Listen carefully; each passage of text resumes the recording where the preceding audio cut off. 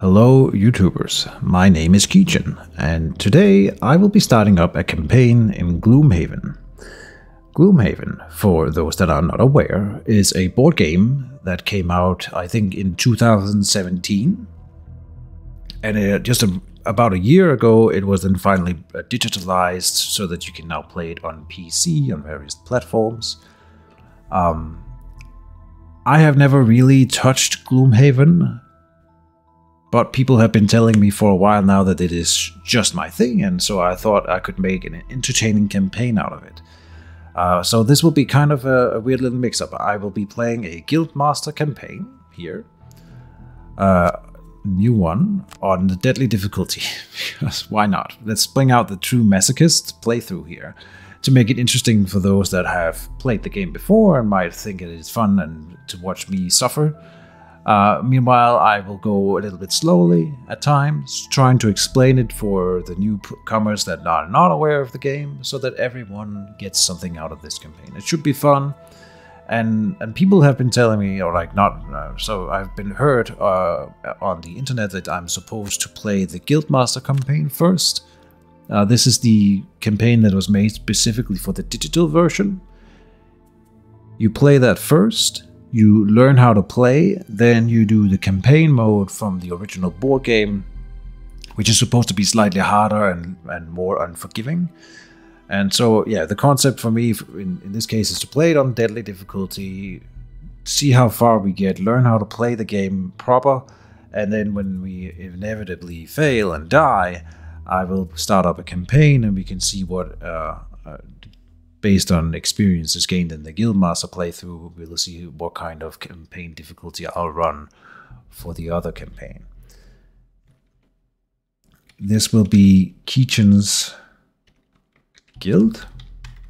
There you go. Guild. How do you spell guild? Guild. Keejchen's. I was right. Guild. Like so and we'll make some rules, some house rules here that makes the game slightly easier for me. Now we're playing on the the hardest difficulty there is. For reference, that means that monsters and traps are higher, uh, more dangerous, and then but gold will also be worth more. I think that's what this means. So you are punished more, but you're also rewarded more, and so can survive if we can collect all the gold. We will share gold between our entire mercenary squad. It would be interesting to split gold, but I'm not experienced enough, I think, in micromanaging each individual mercenary uh, gold seems a little bit too much right now. So for now, we will share the gold. then there are various other house rules that we can activate here. And I will make a few adjustments to the base recommendations for attack modifiers, and I'll explain all of that later, we can have two different settings where you don't have times 2 and times zeros, but instead more minus 1 and minus uh, and plus 2. Advantage and disadvantage, uh, you cannot roll the 0 attack modifier if you have advantage, I think that's fine.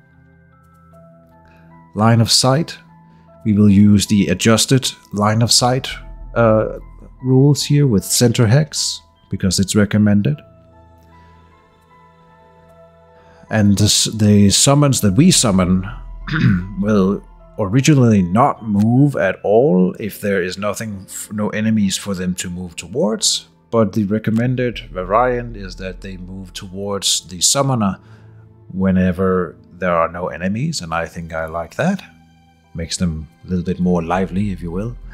And then the final thing that I will adjust is the spawned monster gold drops. So normally spawned monsters that appear during a, uh, a scenario will not provide you with gold, but I will turn that on so that we can get more gold in this hard difficulty mode. I think that'll be uh, a nice way to offset the um, the difficulty a little bit.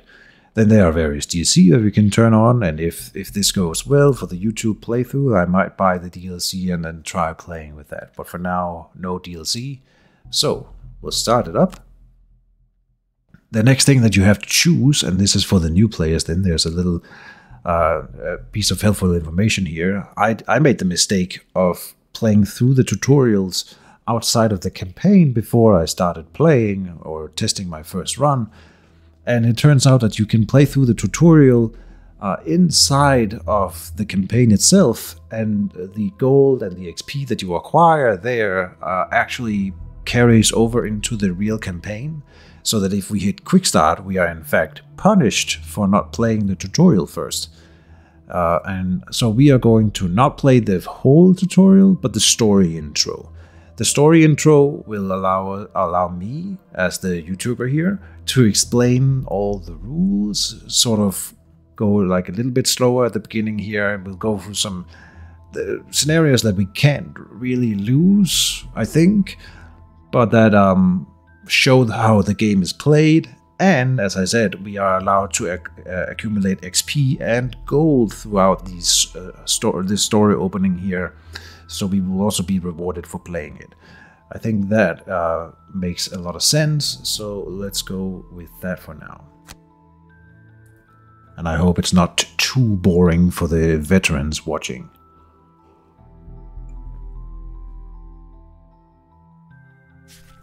Alright, and there is a.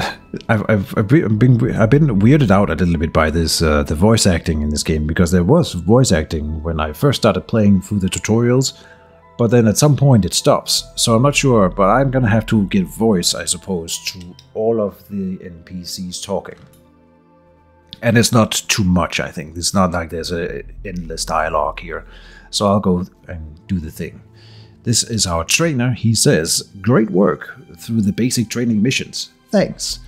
Allow me to introduce you to the third member of our guild. He ain't much of a fighter, though. So at this point, we have already been introduced to the basic fighter and a rogue. And again, we will see plenty of them, so don't worry about it. Uh, and there's a merchant here, who is theoretically part of our guild, but not a playable character he says, "Hey, not all of us are particularly uh, particularly care to be experts at stabbing people. Uh, excuse me." Hmm. Greetings, Guildmaster. I'm the humble merchant of your fledgling guild. I deal with the important aspects of running a guild. In other words, money, which, might I add, is sorely lacking at the moment. What you can see right now is the world map. You've probably noticed it looks a bit barren at the moment, and well, I'm not so. I've got some good news and some bad news for you. The bad news is that the realm has been overrun with all manner of unpleasant monsters, rogue bandits, wandering undead, dark cultists, you name it. The good news is that you are going to help us restore the routes back to the other settlements out there, hidden in the fog. But before we can do anything about that, We'll need to get some mercenaries on the guild roster. Let's start with the with actually recruiting the poor old brute, who's got himself into a spot of bother again. So this is the guy that you we've already seen in the tutorial if you've done that. Here, I am Brute. Yet again, the Brute finds himself in a precarious situation. Guide him out safely and he'll surely join the guild. We will. I shall.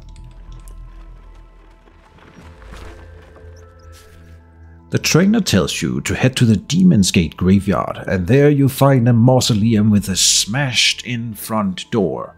Walking down the steps into the gloom below, you fo follow a trail of broken bones until you hear the sounds of battle. Entering a chamber, the badly wounded brute is facing off against a number of undead.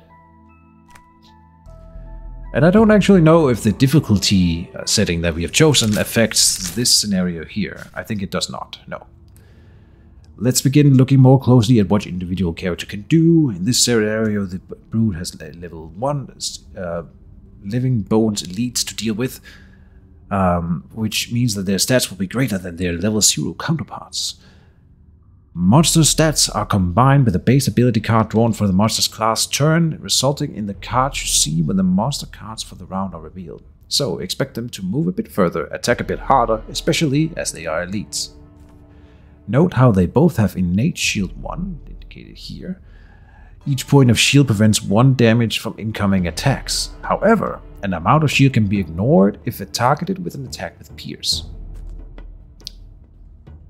I have it on good authority that these living bones are going to attack more than once each turn. You are low on cards and won't be able to afford to burn cards, so surviving here will require some shielding of your own.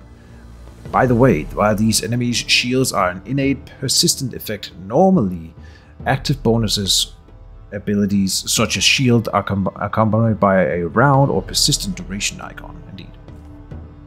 So we always have to go for, in, in, in Gloomhaven, we always play a scenario with specific objectives. Once the objectives are completed, the scenario ends. This is important for various reasons. But uh, suffice to say, here are our objectives this, this round. We've already uh, sort of covered it. Uh, we have to kill the living bones, apply some shield, and use minor healing potion here. So, uh, Gloomhaven. Let's talk a bit about it, eh? In detail. Now we are in a combat here. In Gloomhaven, you have your character, your mercenary, uh, from 1 to 4, depending on who you choose to go with. I think you have to go minimum 2 now that I think about it. But here's our Brute, for example. The Brute then has his own deck of cards. They look like so. We have to choose two cards to play every round, like so. The first card we choose, uh, the first card we choose will determine our initiative up here, and whether we go before or after the skeletons. We have been told in this round specifically, uh, we have to apply shield, use the health potion, and kill with a pierce attack. So let's find the pierce attack. That is this one here. And we have to apply shield, that's this card here. We will choose the shield first, so that we get the low initiative. That means we act first. Do, do. Maybe I have to turn down the music ever so slightly here. Oh. There, let's try it like that. And they will use this card here. The enemy cards are also randomized from a deck of their own. They will move forward, but won't because they are already adjacent to the closest uh, enemy, and then they will attack two, target one enemy with all attacks. I'm not sure where it indicates that they will attack multiple times. Yeah. This is something I haven't figured out yet, but we will learn more later. We act first because our initiative was lower than theirs. We will attack, and so when whenever we have we have chosen, chosen two cards, when it is the turn of the brute, then you have to select uh, one ability on one of the cards, and then you can only use the uh, like the opposite on the other card. So if I choose the top one on the shield bash, we could only move uh, use the lower ability on the trample card. As such, it is highlighted when I move up and down here. The order doesn't really matter, but of course it does. Uh, but uh, suffice to say, he can do whatever he wants on his turn in any order here. Um, if you do not want to do any of the things on the card, you can choose to either replace the top one for two attack, a default attack, or the bottom one for a default move. Right? So anyway, we're going to do what he said. He wants me to shield myself. There's only one option, one on one target, so we confirm. He will do a little thing. Now he has a shield. We will spend the healing potion as was indicated by the scenario that we were supposed to do there, healing a bit. And then we will trample. We will kill this guy over here, I suppose. Good stuff. Then the skeleton will go. We will take the damage here. Uh, we'll probably use the heater shield for this one. So we have a shield that we can tap, if you will, uh, to decrease the damage gained from one attack. Let's do that now, then receive the one damage here. And then again. We are also uh, allowed to burn a card instead of taking the damage or burn two discarded cards. Right now we will not be doing any of that. And he attacked again. So we choose to receive the damage. Yikes, that was quite uh, the onslaught. Nonetheless, your shield prevented enough damage to keep the brute alive. Whew. Final objective, kill the remaining living bones. Good luck, he's a tanky one. A tip for you, perhaps you could use the old push and trap combo. Note that the shield only prevents damage from an attack, but it does not do anything against direct damage, such as traps. So we have the spare dagger that we can activate. In fact, we cannot do that because we only have one card in our pool right now. The only way to do anything would be to either do a long rest or a short rest, since we have to activate two cards on a turn. So the way you regain cards from your discard pool is through one of the two rest options. If we take a long rest, that counts for the entire turn. We get to choose a card to burn from our discard pile. They go into the burn pile down here. Burn cards can never be recovered unless you have special rules that allow you to. And you heal a bit.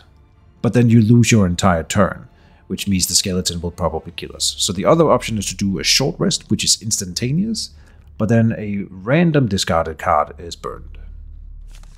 We have to do this though, so it burns our trample. Oh no, this is pre-selected for the scenario, so that's fine. And then we should have a push card here, indeed. We have the warding strength, which will push an enemy two spaces back, and that will go through the traps there. So we we accompany that with a, taking the shield bash first to get the lowest initiative possible, and then we do the... Uh, let me just check. Yeah, we're going to do that in selection. He will do a move four, then attack two, target th three different targets. Oh no. But he only has six health, indicated here, and each of these traps do uh, three damage. So when we push him two sp spaces back here, confirm, we are allowed to, we can push him like diagonally and stuff too, as long as it is away from the brute. So we'll go like that. He goes through the traps and dies. He drops gold. We will attempt to pick up some gold before the scenario ends here. This is all we can do. In order to pick up gold, you have to end your turn on the gold pile in order to pick it up, unless you have special rules that say otherwise. So here, we get to pick up the 4 gold, modified by our difficulty level, that was indeed correct. Save the brute yet again. I hear he's decided that adventuring alone is not working out for him, so he's agreed to be the first mercenary in your guild. Let's get out of this dusty crypt and see who else we can recruit. Indeed. The brute sure can soak up damage well, but he's not the most mobile. Hmm. Having ample funds is going to be of utmost importance in getting this guild off the ground. Do you know anyone good at um, gold acquisition. Oh, you know, just a woman. She's also dab. Uh, she's also a dab hand at poking holes in those who get in her way. She's in the process of liberating some gold right now. Shall we lend her a hand? And I think this is another nice battle to give some introduction to the game. The trainer points you in the direction of a ruined crypt on the outskirts of town. Dead bandits litter the area, many with knives still embedded in their corpses. It is clear they didn't see their attacker coming. Oh, second potential recruit incoming. And here we are. Meet the scoundrel. She is incredibly nimble and mobile, not to mention able to combo off huge amounts of melee damage when the things line up just right. Let's help her out with this of this sticky situation. Firstly, you need to kill three archers this round before they attack. You'll certainly need something that can hit more than one target at a time. Yeah, like the throwing knives have a. Uh, if I click that one here, it has a target ability. You can target X amount of enemies, and that's range three. And it has low initiative, so we'll pick that first. And then there should be indeed here the smoke bomb secondary ability has a pull so that we can pull this archer into the trap here. That will be our play for the turn then. And they're doing a thing, but they're not going to do a thing because we're going to murder them. There, we killed the first two. Again, we could do it in any order, but let's just start with the throwing knives here.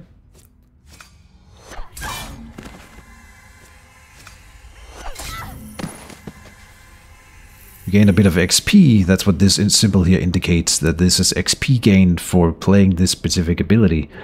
And again, that is important for when we get into the actual game after this. You would not be gaining those XP if you started with the quick start. So we are rewarding ourselves for doing the little tutorial bit. Ha! Feels good to be picking off multiple targets in a single turn, doesn't it? One last objective. Loot at least five gold piles of gold uh, this round. A tip for you sometimes the top half of a card allows you to move too. Loot abilities uh, pick up all the gold within the radius specified by the value, so you could work so you work out where you need to stand and get looting. Indeed. Lots of gold lying around over here, so we have to do a short rest because otherwise we cannot do anything. We lose a card, again it's predetermined by the scenario here so that we can do our thing. We have a loot 2 ability that we want to play. That's the throwing knives again. And then we just need a movement ability on the top half of any card, the quick hands here. Yeah. So we play the, the quick hands first, like so. And then we play the loot 2 from here. Uh, we have to skip the attack of the quick hands. Then we loot 2. We're not getting this gold pile over here, but we are getting all this gold over there. And the gold is counted in the top right here. 24. Very nice. 24 is a lot of gold. Victory. Nice. Let me just take care of that gold for you. For your assistance in this scenario, the scoundrel has agreed to join the guild. That means we've got enough mercenaries now for a proper mission. And then we will get a proper mission if I recall correctly. The first thing we should do as a guild is re-establish the trade route with Gibbet Hill to the west. We've been having a small problem with bandits in the woodland and road, but with a brute and a scoundrel to assist, there's nothing that should cause you any trouble. It'll give you some much needed experience on the job and allow me to get some new items in stock once the way is cleared. Go knock some bandits' head together.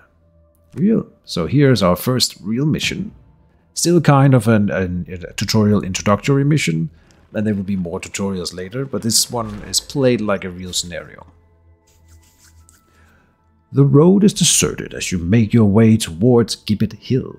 Trading in the area has effectively stopped for many months now, so with so few daring to venture along the main highways. As you make your way along the trail, wending, uh, wending its way through a wooden grove, the crack of a twig snapping underfoot pierces the silence. You hear rustling in the undergrowth, getting louder as its source makes its way towards you. Toss a coin to your hangman. Uh, bandits are blocking the road to Gibbet Hill. It's up to you to drive them away. Let us do it. Shouldn't be much of a hassle. Right, this is your first proper fight. Looks like two uh, looks like two clearings with a couple bandits each. Just remember what I've taught you, and you don't need to enter and, and don't enter the second clearing until you're ready. You can change your character starting positions this time by clicking the white hexes, so choose a formation that suits you before starting your first turn. By the way, if you are struggling to make out objects and enemies in the undergrowth, you can press tab to highlight them, like so. You can also see the turn order of monsters uh, of the same class this way. Here he, we have a Bandit Archer 3 and a Bandit Archer 5, so this one would go first. Lower numbers act first, indeed. Okay. So we can do a little bit of shuffling around here. Now I've done this one at least once before. Of course, that was on a lower difficulty, but it doesn't look like these guys have leveled up with the increase of the difficulty, unless I'm mistaken. This trap does 2 damage, here's some gold and there's some gold. So the real kicker in these kinds of missions is that we need to pick up all the gold before we finish up the quest. So sometimes we want to leave an enemy alive while we're picking up the gold, maybe even go a bit slow before we open the door and get the gold picked up first. Stuff like that, which is a little bit uh, arbitrary and gamey, if you will, but uh, it is the name of the game and we are we're gonna do it. So here I will do what I did the first time I played this specific mission here. I want to play a balanced measure with a high movement. Here, Skewer also gives us 1 XP for playing it. And the balanced measure will do the amount of damage equal to uh, movement we've done that turn. So let me go like this. Now skewer will go first. Uh, skewer will determine our initiative. Sorry, that's what I meant. Meanwhile, uh, so with him doing that, he can move up to six squares, get all the way to the backline archer, and kill him this turn. Meanwhile, the Scoundrel will try to kill the front liner this turn so that they only get one. And I forgot how I did that, I think. I think I did special mixture. Here we move three and then poison an enemy. When you poison someone, they take one extra damage from all attacks. Uh, and if they ever should heal, instead of healing anything, they will just remove the poison. So this was a nice little movement. We move up and then we poison the enemy. And then you uh, stab them in the face, dealing one extra damage. We want to find a low cost here. This the backstab should be able to kill him. Here, it will do two extra damage and gain plus and gain one uh, XP when its target is adjacent to none of its allies. Indeed. Uh, but the flanking strike should be enough. And this one burns. Also gains XP. We're trying to milk the XP out of out of um, everything here. So let me play the flanking strike here, and we'll play that first. So there, we have four initiative on her. Now the bandit archers here, and I kind of knew this, but they play a very low initiative card, so we are not allowed to go up and rush the other guy before he moves with a brute. So they do get an attack off with him. He will move one and attack one, deal one damage within range three, and then create a new trap. Not a big deal, we can handle that. So, uh, the, the rogue will still go first, the scoundrel here. She will move the three up there, confirm that movement. Then poison this archer. And there's something that I haven't talked about. I'm not sure if it's in effect yet. It is. So here we have the attack modifier deck. Noted by the pips down below, the amount of every card. They are like a little deck of cards.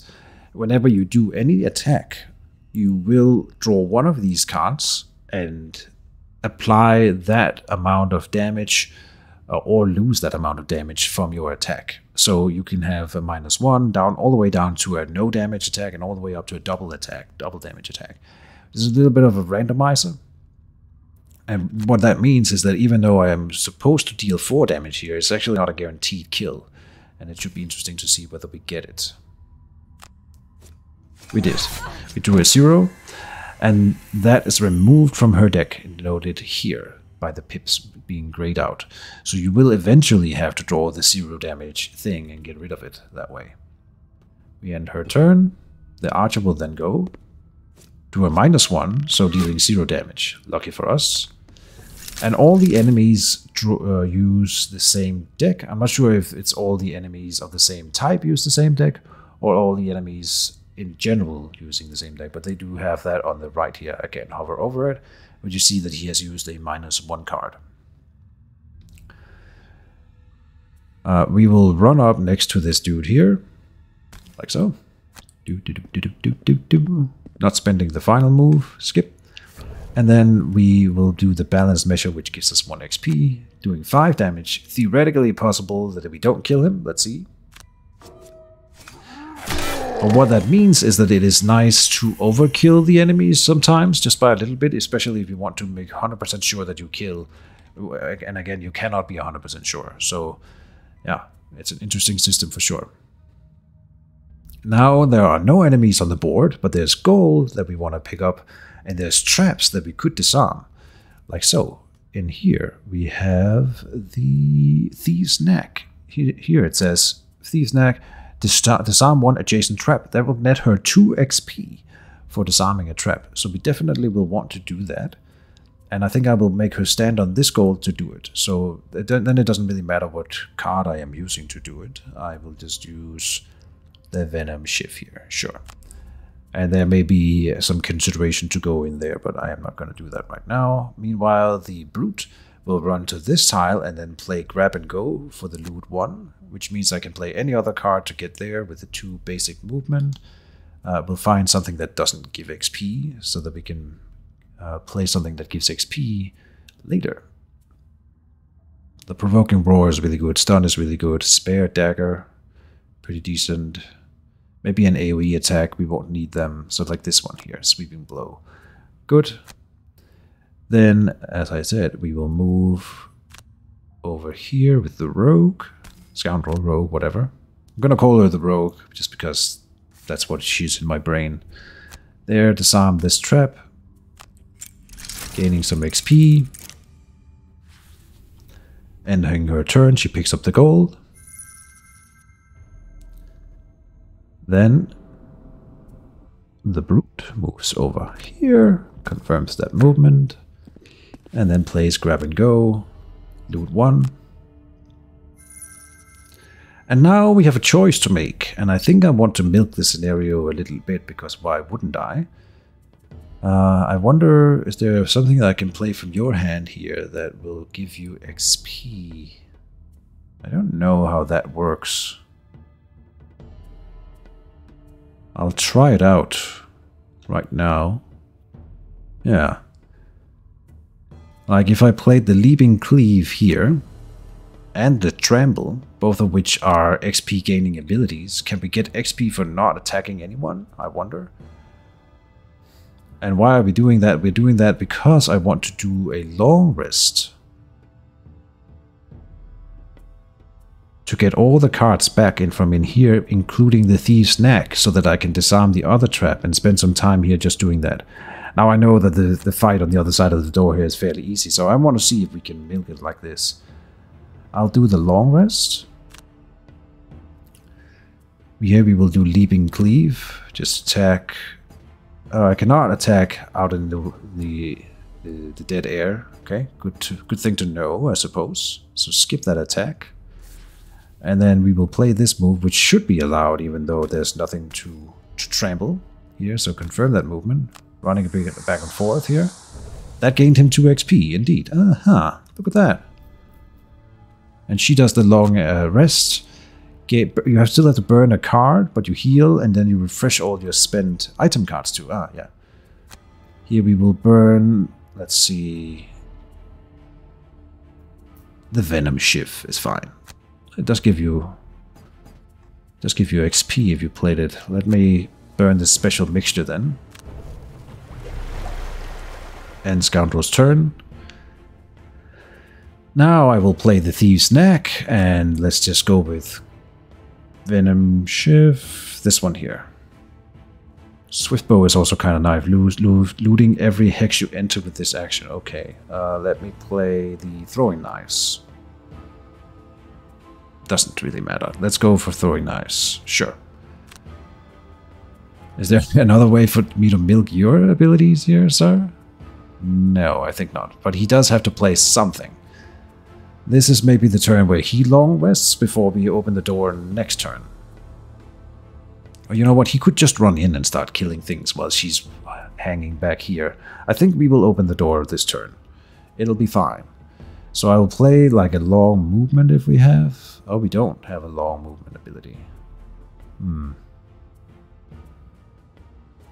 Yeah, I didn't really line this up perfectly. Enemy who targets one of your... What does this say? Any enemy who targets one of your adjacent allies with an attack this round targets you with that attack instead. Ah, so it's like a taunt tanking ability. We can run in three tiles. Let's open the door with the overwhelming assault. And then we'll just equip a spare dagger in the other hand. I don't remember the exact positioning of people on the other side here. This should be fine. So in selection, Rogue goes first. She will move up here. There. And disarm the trap. Gaining 2 XP. Milking the tutorial for everything that we can. Here. So this is the other room in the dungeon, and the, the trick here then is that there is gold all the way around on the floor and stuff that we want to pick up before we finish off the two enemies. I have a spare dagger equipped. They immediately get a card. They are going to move three and then attack for one damage. Not a big deal. I will play his Boots of Striding here. Move the way all the way over there and then throw the dagger at this guy. Skip movement. Then no push. Then spare dagger. Plus one, nice. And he picks up the gold. They will go. And uh, why do we not just flip the heater shield here? I think that's fine. Okay. Now, how do we get to the gold in the back there? The scoundrel is best at picking that stuff up if we have the loot 2 card. We do not have the loot 2 card, it's down here at the floor knight. Mm-hmm. But if she stood here and played the loot 1, we would be able to get all the things. So maybe that is what we're going to play towards, which means we need a lot of movement on her. Uh, move 6, for example. I mean, that means I mean this this guy is not gonna kill my dude, so we're just gonna let him like run past him and let him live a little bit. It'll be fine. Uh, we'll play. Let's see, one, two, three, four, five, six, one, two. Oh, that's not enough. Too bad. If I let him come in here, it'll be one, two, three, four, five, six Seven, eight. Damn it, not far enough. Okay, so it's gonna take a few turns to collect all that gold. But the gold, man, is the name of the game. So yeah, let's see if we can play something else. Maybe that gives a bit of XP then. I'll try to finish him off with the invisible uh, from the smoke bomb. Since that gives you extra two, two extra bonus XP for the kill. That sounds like a good idea to me. I will play... Oh, the quick hands is also the one that loots. Huh. So there's just no way to win with this. Next turn we will play the Venom Shiv for the movement. So let's go just... Maybe we play the Flanking Strike right now and the Swift Bow. Brute will kill the enemy here and then spend two movement to get over to this gold here. Oh, that'll get him out of the way. Aha, look at this. Let's play the Venom Shiv indeed, as the first thing. So is later in the initiative, and then the move six.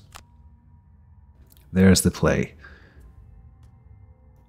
He will smash that guy in the face with the stun attack here, gaining 2 XP, and then provoking roar with the other one. That's fine. Good. Continue. Then we smack you. We threw a minus one, but severely overkilled him, so it didn't matter. And then we'll go and pick up this goal right now. That should make this rogue or bandit guard run over here. Ah, but I didn't check what ability he picked. He had a ranged attack. My bad. So we didn't get what we wanted. We will run past him. And leave it at that not spending the Venom Shiv for anything. Ending the turn. So I need three movement and then the quick hands to pick up the stuff. We can move five and then do quick hands. Perfect. And I meanwhile, the blue will try to pick up the other gold stack over here. He is out of cards, so he would have to rest and I think he just long rests. That that's fine. That helps him tank also, and we're not trying to kill the enemy here. Uh, he's doing an attack 2 with poison. Ah, but uh, he's not moving at all, so he's not going to attack anything. He's just going to pound his shield and gain plus 1 defense. Or shield, specifically. Oh, this is... Ah... Mm, I'm a bit of a dummy here. We're not going to be able to get the, all the loot here. It's fine. We'll just get the one furthest away and skip movement. Now we cannot play the loot, of course, so yeah, we'll have to play the quick hands, but skip and skip attack. I'll try to do this fast. He pounds his shield.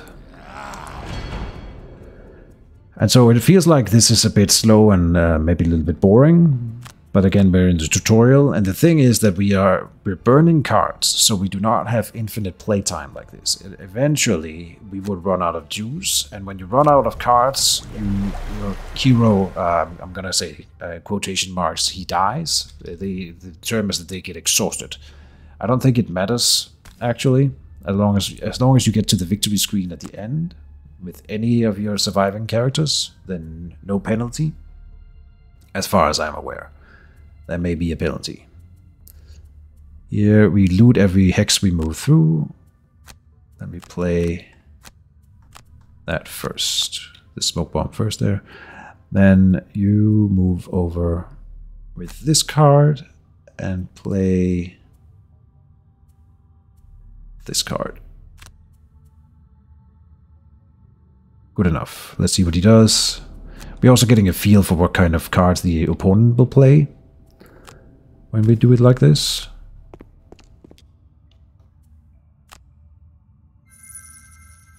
Oh, and we can turn invisible here. Perfect. Um, it is perfect if we can get to him next turn. The invisible will allow me to do double damage and gain 2 XP for the strike. But we would need one, two, three, four, five movement, probably. Okay, you know what? I think we can do it. We'll turn invisible now. And then if we are not really unlucky with the short rest, we will have a 5 movement card. And the scoundrel's turn.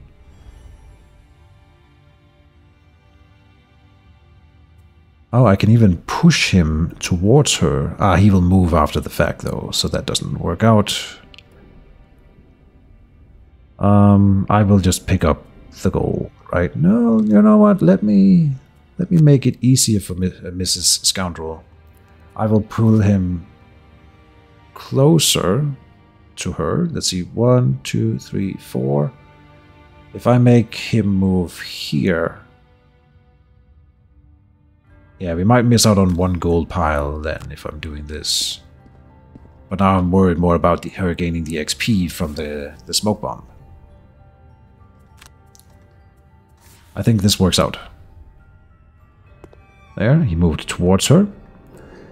Now she needs to do a short rest. Let's see what cards. So then she loses a random card from her discard. She lost the backstab. So, or, or, I can take one damage to redraw that. But we are, I think we're fine. This is a five move card. We are just fine. Burn that. And then we will play a uh, an attack that gives us XP. The smoke bomb is now here, as it is an ongoing effect at the moment. Uh, when you are invisible, it only lasts one turn, but the smoke bomb thing effectively stays until she uses it while invisible. It's a little bit of a weird mechanic. I've screwed that up once, at least. But anyway, we are going to move 5 and do a flanking strike. So let's make sure we do the flanking strike first. And then I would love for him to be able to reach the other... No, he cannot reach this gold pile unless he gains a movement card back. No, he cannot. Damn it.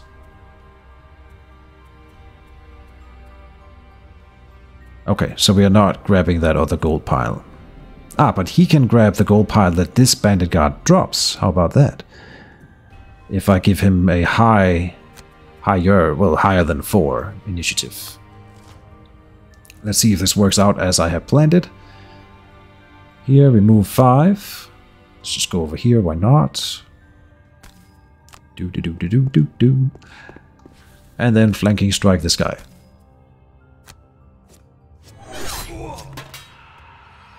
She gains a bunch of XP for that. I wish we could see that more clearly.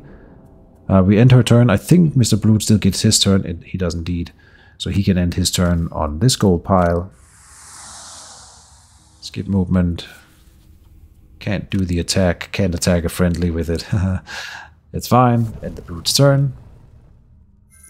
And like that, we have milked this scenario for everything that it had. I may be skipping over some of the mechanics. If you are a newbie to this game, like I am, and you have any questions, you can post them down in the chat or in the comment section below. And uh, me, I, I, will myself or someone else might chime in and help you out with uh, the answer. For now, I think this would be a good stopping point for this the first episode. So I hope you guys are enjoying Gloomhaven. There will be at least one more of this uh, introductory um, these introductory missions, and then we will go into the real missions where it gets a little bit more juicy. We will have four characters on the board, and a lot of other stuff will be happening. So um, until then, I hope you still will enjoy it. See you then, guys, uh, and bye bye.